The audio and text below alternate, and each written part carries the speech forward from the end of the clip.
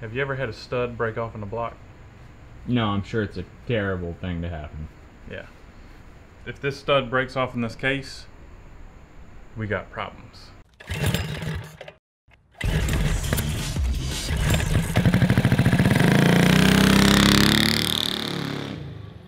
What's up, everybody? Thanks for tuning in. In today's episode, we are rebuilding and upgrading the 50cc engine on my Honda Z50R from 1999. This bike had been sitting abandoned in the woods since it was almost new, and the engine is very stuck. We're going from a 50 to a 108 big bore with parts from tboltusa.com.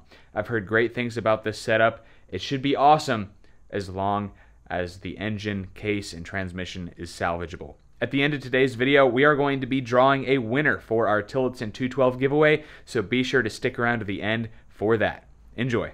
Man, uh, I didn't hardly get anything out of this thing. So no no oil came out. No.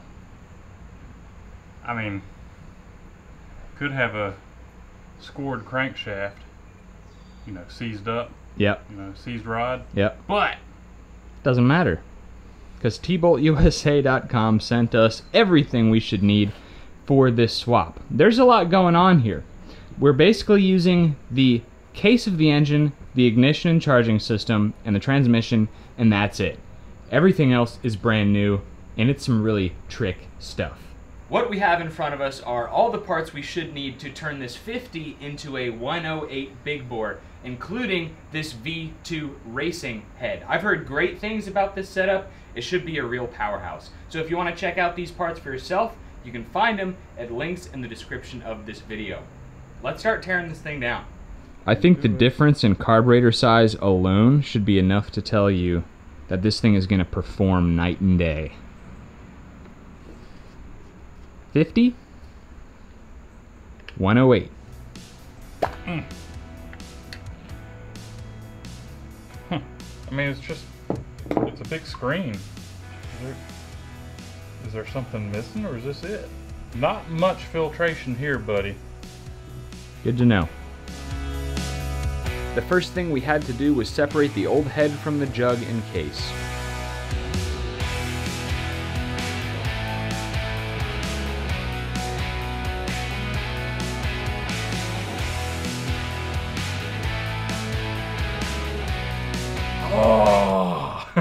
Yeah, we just made that noise for 10 seconds straight because figured out why the engine's stuck.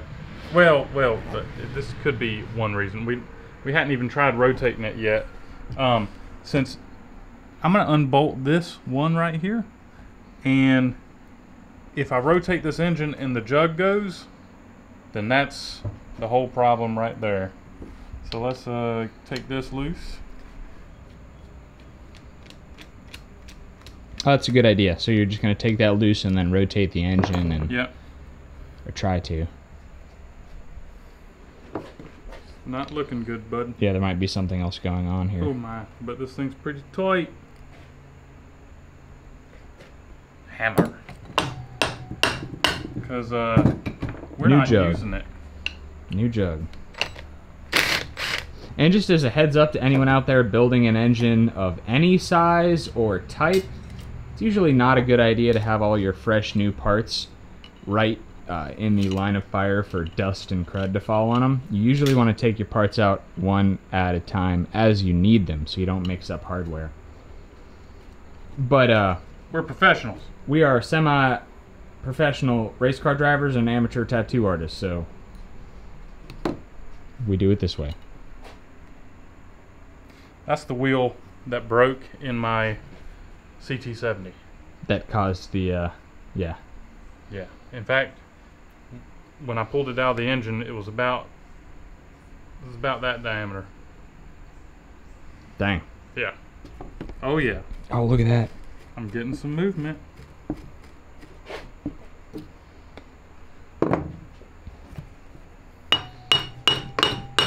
Hey.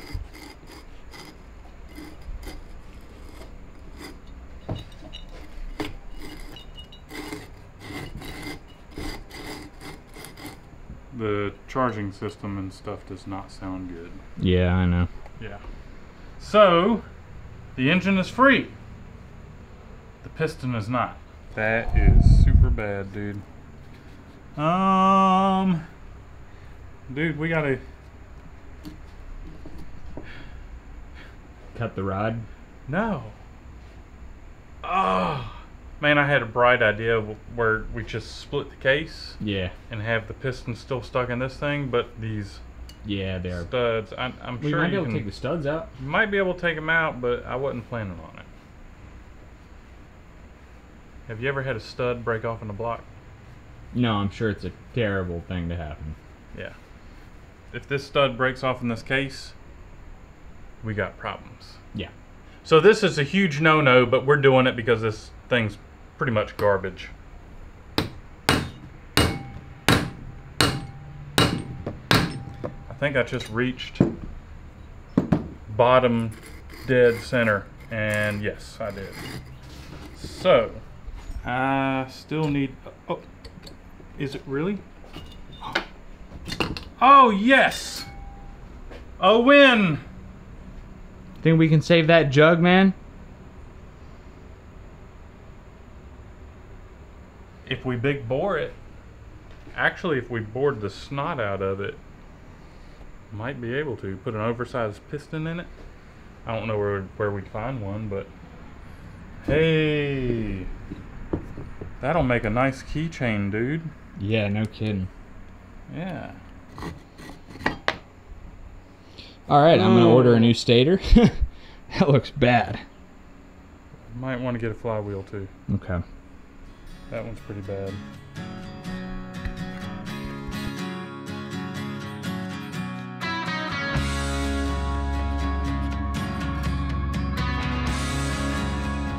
This looks like it'll fit, yep, in multiple places.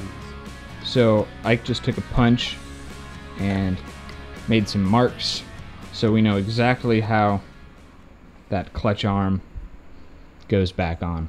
Looks like it pretty much lines up with, you know, this. Right off the bat, as soon as we split this case, we could tell this was no ordinary overhead valve Honda clone build. There's a lot going on in these, Yes, there is. but as long as you take a lot of photos and shoot, even take some video footage, you'll probably be okay. You know, maybe we ought to uh, YouTube this. I don't know what I'm doing. We got these four bolts that we can take off too. I wonder if this whole thing comes off in the assembly rather than these. Nice. What is that? This is the clutch. Oh, that's the clutch. Yes, we have some uh, supposedly two clutch discs in here. So if I were to remove this snap ring right here and start this assembly, there's actually going to be some rollers that are going to fall out too. And I don't feel like dealing with that. So I'm going to say this is good, right? Yeah. All right. And there's a special tool you're supposed to have to remove That nut. that nut in there, Yes. but you did it with a screwdriver, I used it with a special tool, man. a punch. It was a special tool involved, man. Yeah. Yeah. Punch. Look at all that garbage. Yeah, we're gonna have to spray that sucker out, man. I just want to point out, guys, that the uh, correct thing to do would be to remove, dismantle, and clean thoroughly the whole engine. Don't do what we're going to be doing right now. So do as we say, not what we do. Yeah, in order to stick with our video schedule, we kind of have to skip a couple of steps here. So, hope you understand. Pretty vital steps, I might add. But we're gonna we're gonna do our best to keep keep it clean, and uh, you know, just just roll with it. Absolutely.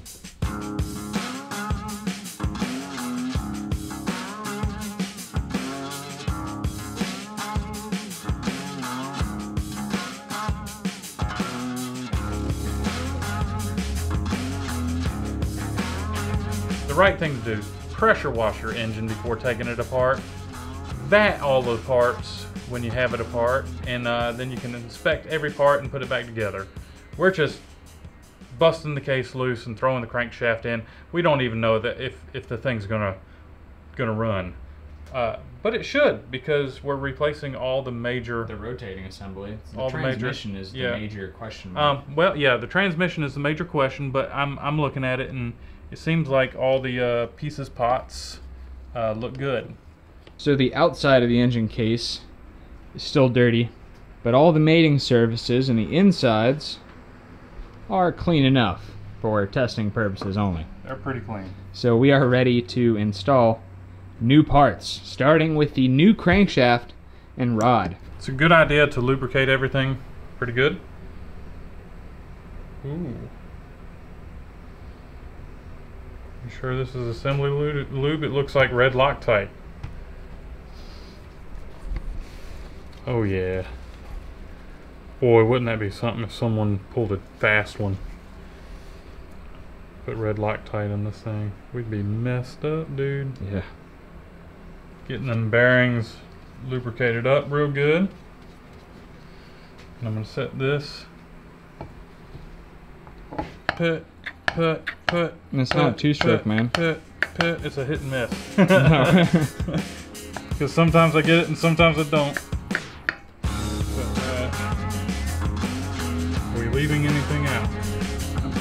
This for assembly.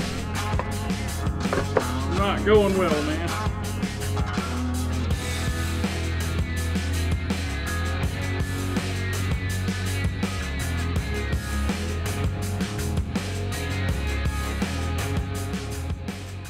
So now it's time to put the piston in, but first we've got to install the rings. First up is the oil ring. I put this little waffle ring in first. Now keep keep in mind all of these openings need to be offset from each other. Right now the waffle ring is that way, so I'm going to put the oil ring like there and then the other oil ring there. The gap. That's what I meant. Keep in mind these this is very delicate work. And it's got to be clean too.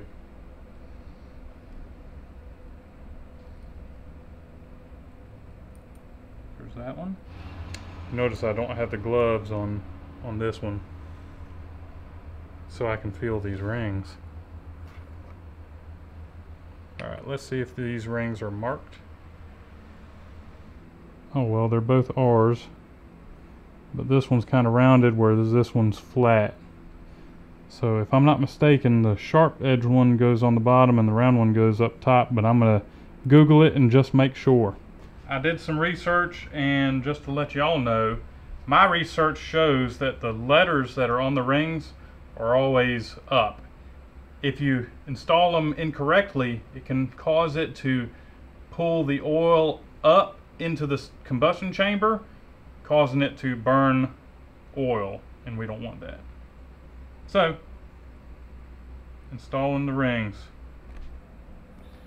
Got to be careful. The rings are usually sharp enough to uh, cut you. Now it says R on both of these rings. It's not like an A, B, C or whatever. Uh, but I do notice that the top ring is actually rounded in shape on the sealing surface on the outside Mm-hmm. and the uh, bottom ring looks perfectly square but apparently they're they're ramped so all right um you know i got to do some research to figure out which way this piston goes intake is on top exhaust is on the bottom Bingo. bingo all right dude man it's so man this piston is way bigger than uh The old one? the Yeah. old one It's awesome. yes it is I mean, we are over doubling the displacement of this engine right now. That O-ring's in place, but none of these others seem to take a O-ring. So I need to, uh, just gonna lube this thing up real good. Oh, yeah. And I know the chain's got to go in, but I figured I could start these. Wish we cleaned this engine, man. Yeah, I wish you'd let me clean it. That's not how it went down. I'm just gonna push it in, and I'm gonna pull it out. And check for scratches.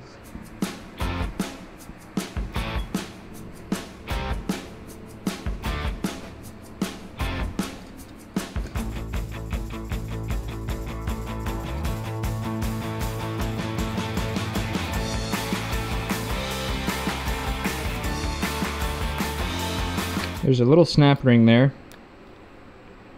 that goes. What do you even call that? The backside of the camshaft bearing. I would call this the front side of the camshaft bearing. Oh, right, because the cam goes in that way. Yeah. We are setting valve lash to three thousandths intake, five thousandths exhaust. We're gonna check it again once we warm it up and yeah, Break it in. break it in. Thank you. Got some really cool looking valve covers. Man, I'm gonna say it again. We should have cleaned that darn case. uh, have you ever heard the term "it'll be fine"? yeah, we can clean it after we get it all together.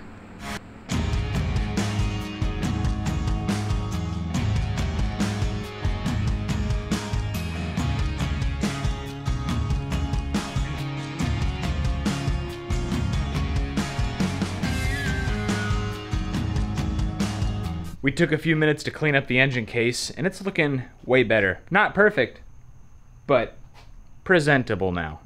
We're not full of shame. Well, maybe a little bit. We should have done it in the first place. Ike's filling it up with oil so we can spin it over. And the factory charging system and ignition system here is looking really rough. We have a stray wire just floating around. We're gonna try to kick it over and see if we have spark, but we are not hopeful. No. So it's been a couple of days since we've been in here. T-Bolt USA sent us all the parts that we need to hear this thing fire up. We got a new charging coil, stator, you know, flywheel, all that stuff. We have a new CDI box, wiring harness, kill switch, coil, and a cool T-Bolt USA side cover. Also, I noticed we got some seals too. So, uh, man, let's get this stuff on and hear this thing fire up. Sounds good. Hope this thing comes right off. All right. All right, dude. Um, what's cool is it comes with the whole back piece. So we are gonna have to lay this bike over since it's full of oil Yeah. because we filled it up, and we're gonna have to take that side cover off. We need a big, huge seal. Did this one come with the seal?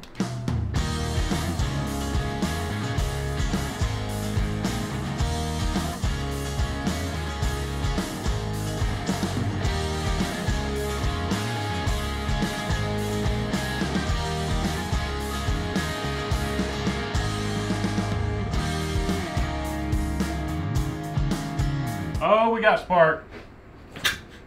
Got spark? I heard it. It snapped.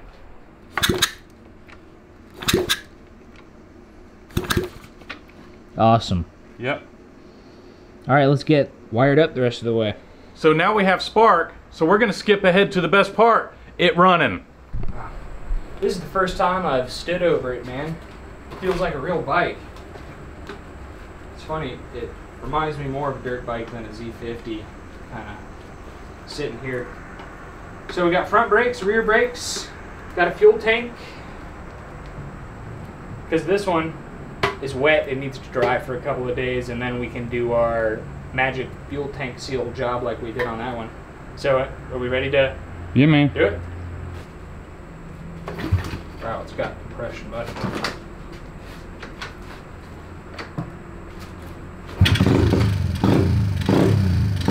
Oh. It sounds pretty good. What? Sounds pretty good.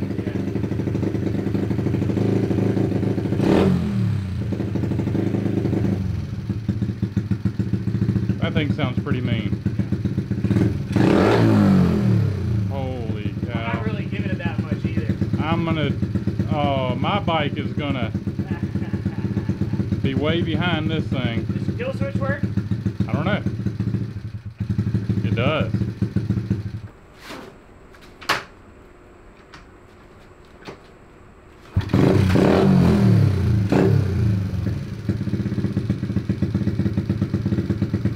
upside down.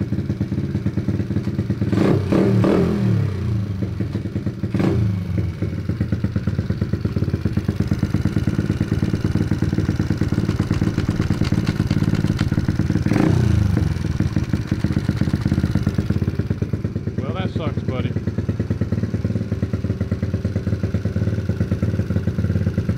Split it back apart. I guess so. What's that? I guess so. But it sounds mean. Sounds so good. Yeah.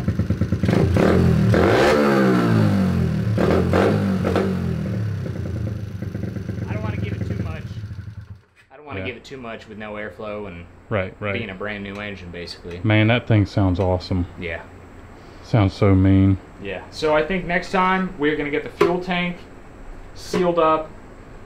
Uh, we are. I'm gonna change the oil because there was still a lot of sludge in there we couldn't get out. Might want to change the oil now, actually. Right. Um, and yeah, I think we can do some hot laps. Maybe put put it up against your bike, put it up against some other mini bikes we have.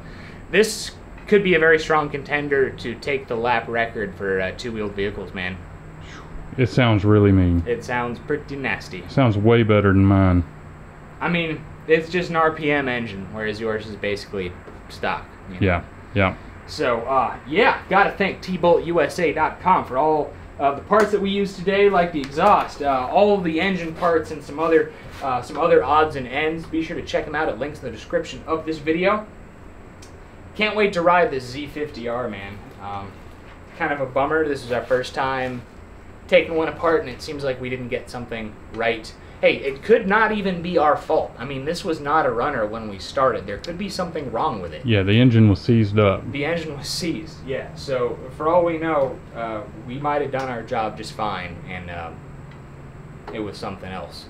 Uh, kind of a bummer that we can't take it for a ride today, but hey, that's all right. So, leave a thumbs up if you enjoyed. Subscribe to Cars and Cameras to catch the first ride of this 99 Z50R. Facebook and Instagram at Cars and Cameras Reviews.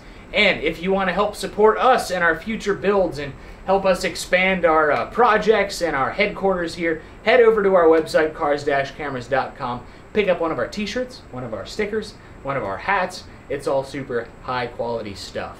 Um, oh, yeah, check my buddy Isaac out here at Isaac It'll Be Fine for some behind the scenes and car content. And uh, thanks again for watching, guys. We'll catch you next time. All right, it is time to choose a winner for the first ever Cars and Cameras giveaway. We are giving away a Tillotson 212 with a Stage 1 Performance Kit from GoPowerSports.com.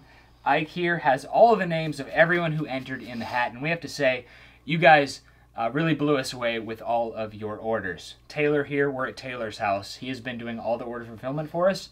He's been very busy the last few weeks. I have been Yeah. really, really busy. Sorry, buddy. So thank you again alright. for everyone it's who good. ordered. so Ike here is going to choose one of the names out of the hat, and that's going to be the winner for the first ever Cars and Cameras giveaway. All right, before I pick the name, I'm just going to pick out a few, I don't know, honorable Honorable mentions. mentions. Um, thank you, Matthew, Nicholas, and Scott. All right, Thank you guys for entering. so here we go. All right, y'all tell me if I if it's just Uh, I think you got two. You got to drop them with some. Dalen Dorn. Congratulations! You just won a Tillotson 212. Yes. With the Awesome. Stage 1 kit. Absolutely. So we will be in touch. And if you didn't win this time, we have some bigger and better giveaways in store uh, for the upcoming months. So be sure to subscribe. Stay tuned for all those. But yeah, thank you again for everyone who entered this giveaway.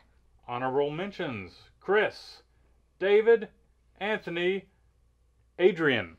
What do you think, Taylor?